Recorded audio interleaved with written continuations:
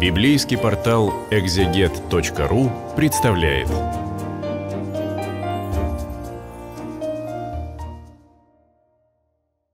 Здравствуйте, это видео для библейского портала экзегет.ру, и мы обратимся к 28 главе Исхода.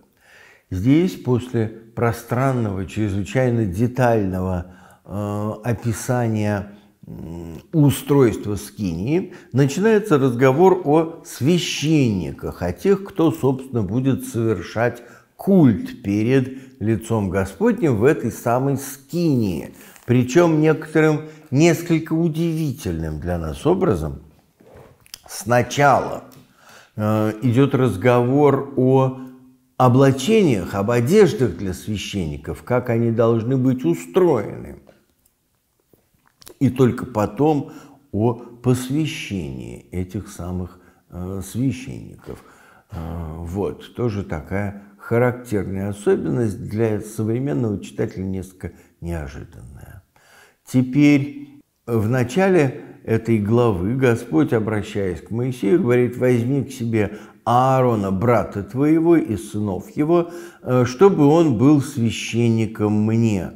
И э, Здесь, собственно, дальше ничего не поясняется, а сразу идет разговор о том, как сделать священные одежды Аарону для славы и благолепия. Для славы и благолепия. Для того, чтобы э, Аарон, как э, первосвященник, как священник Божий, был э, таким средоточием славы, и было все в нем хорошо, хорошо. Такое внешнее благолепие как должно быть некоторым знаком э, внутреннего тоже благоустроения. И скажи всем мудрым сердцем, которых я исполнил духа премудрости и смышления, чтобы они сделали Аарону священные одежды. Э, то есть речь идет о том, что Моисей должен обратиться к умельцам, к тем, кого Бог сделал э, мудрым сердцем, которое Бог исполнил духа премудрости и смышления, вот к этим умельцам он должен обратиться, чтобы они сделали для Аарона священные одежды, но все равно э, Бог расскажет, как, какие они должны быть, что в этих одеждах должно быть, потому что это не художники – не они, так сказать, придумали и сконструировали эту сторону культа, а она тоже устроена по повелению Божьему. Ну и здесь вот описываются одежды довольно э, многочисленные и, э, вероятно, э, красивые из э, дорогих и э, дорого окрашенных материалов, которые должен носить первосвященник, нити из красной шерсти, из голубой, пурпурной, из золота, из шелка. Вот это все целая сложнейшая конструкция, а, на которую э, требуется огромный труд. Да, что здесь, пожалуй, еще надо заметить, э, то, что Бог повелевает – для одежд Аарона взять два камня оникса и на этих камнях вырезать по шесть названий э, колен Израилевых, шесть имен. Э, да, имена сынов Израилевых э, на шесть на одном камне, шесть на другом. И они должны быть, эти камни, Э, вставлены, э, положены на нарамники фода, как бы на плечи, э, для, на плечи первосвященника, как знак того, что он представляет, как на плечах несет в присутствие Божие вот эти самые колена сынов Израилевых. Будет Аарон носить имена их перед Господом э, на обоих плечах своих для памяти. Вот такие вправленные в золото камни, где написаны эти имена для памяти, чтобы вот тут с вопросом «чтобы» возникает некая коллизия. Потому что, э, чтобы что? Для памяти кому? Господь Бог наш, в общем, не страдает забывчивостью. Значит, не ему для памяти – Хотя можно предположить, что там, представления о Боге у этих людей такие примитивные, что они думают, что ему тоже надо что-нибудь напоминать. Ну так, может быть, но это маловероятно.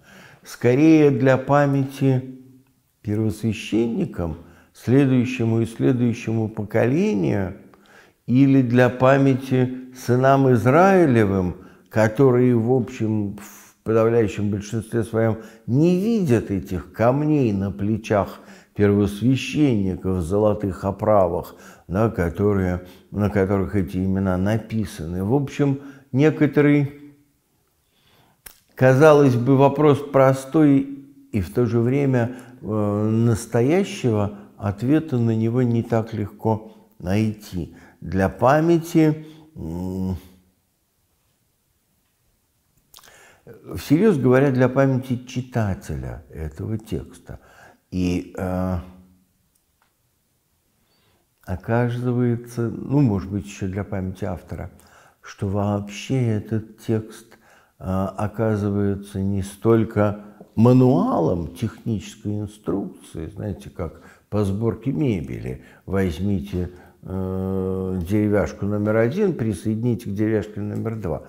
А это может быть таки текст для читателя, которому на третьей главе пространного детального описания каких-то давно э, канувших в лету подробностей, не вредно бы действительно напомнить для памяти, о чем идет речь, и что речь идет о священнике, который будет поклоняться Богу во исполнение завета Божьего с двенадцатью коленами Израиля. Теперь еще также э, наперстник судный, так называемый, это тоже такое сооружение, плоское на груди первосвященника, где уже 12 отдельных разных камней, которые тоже будут, э, на которых тоже будут вырезаны э, имена э, сынов Израилевых. Э, по одному имени на каждое. И здесь много, 12 разновидностей драгоценных камней. Как вы понимаете, это все вещи чрезвычайно дорогие, и достать их можно только с огромным трудом. И вот эти отдельные камни спереди и сзади – на одежде первосвященника свисают вот таким вот образом, вот они тоже изображают 12 колен Израилевых, э, потому что э, первосвященник входит, как потом мы увидим в позднейших текстах, входит от лица всех сынов Израилевых. И вместе с ним символическим образом неким ходят все сыны Израилевы. Наконец, еще здесь говорится о том, что на этот, э, к этому наперстнику судному относятся также э, некие э, Урим и Тумим, два, по-видимому, камня, отличающихся белое и черное,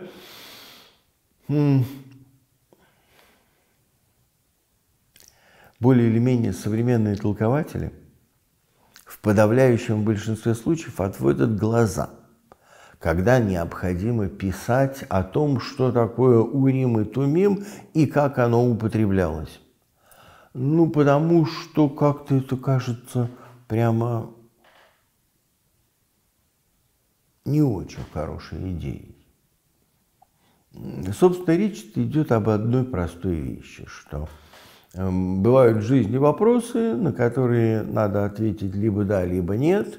И хорошо каким-нибудь грекам, у которых есть дельфийский оракул или какая-нибудь пифия, которая, надышавшись какой-то дряни, несет пургу, ну и там, значит, вот э, принимаются на основании этой пурги решения. Ну или хорошо каким-нибудь сильно восточным людям, которые либо дышат через уши, либо мухоморов там хряпнут на стоечке хорошенько, опять же, теряют полную адекватность и принимают решения. Ну, такое, в общем, религиозная вещь. А что делать бедным евреям в пустыне? Мухоморов там не растет. Дышать акипифии тоже как-то, они вообще, так сказать, потрезвее по жизни люди. А решение принимать надо. Ну и вот э, исход книги, исхода свидетельствует, что когда-то там давно возникла существовавшая уже в, еще и в письменную эпоху, еще в первом храме, вот такая вот традиция э, за этим самым нарамником с драгоценными камнями, с именами сынов Израилевых, располагается у первосвященника некое, ну, типа кармана – котором два камешка, белый и черный, одинаковые по форме. И когда необходимо какие-то вопросы решать, первосвященник молится, молятся вокруг все, э, кто так или иначе к этому имеет отношение, потом он туда засовывает руку и вытаскивает жребий. Урим и Тумим, собственно, да и нет. Да и нет. Э, какая-то такая возможность Понимаете? Опять же, хорошо, когда есть пророки, которые молятся, Бог им отвечает, и они говорят об этом сынам Израилевым. Но говорят по большей части, на самом деле, о том, что надо заповеди соблюдать. А что делать простому первосвященнику, которому задают вопрос, ему нужен ответ. Нужно, чтобы как-то услышать этот ответ. Но, э, но свобода Бога важнее. Вот невозможно его заставить, невозможно, как Аввакум, сказать, вот встану тут на башне и не сойду с этого места, пока не услышу, что Бог мне ответит. Вот эти самые Урим и Тумим. В каком-то смысле, конечно, это возможность переложить на Бога ответственность за принятые решения. Ну, тем не менее, вот, по крайней мере, это э, нечто чуть лучшее, может быть, чем человеческое самомнение. И, наконец, э, в заключительной части, где еще говорится об одеждах первосвященников, э, повелено Богом сделать полированную дощечку из чистого золота и вырезать на ней святыня Господня. И, соответственно, э, она должна быть закреплена на головном уборе Аарона. Вот святыня Господня, то, что э, принадлежит Богу и то, что освящено этой самой принадлежностью.